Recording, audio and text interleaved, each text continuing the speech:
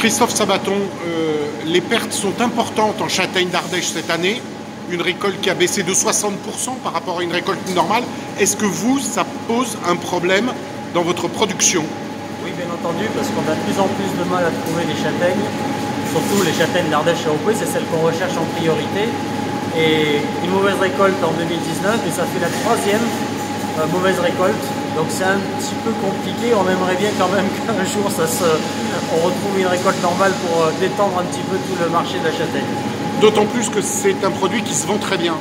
Oui, il y a une forte demande sur tous les produits labellisés châtaigne d'Ardèche AOP. Le consommateur veut savoir ce qu'il mange et d'où ça vient. C'est un produit de qualité, il y a tout un cahier des charges. Ce sont des variétés anciennes, donc ça plaît bien. Mais derrière, nous, on n'est pas capable d'en faire euh, autant qu'on voudrait en tout cas.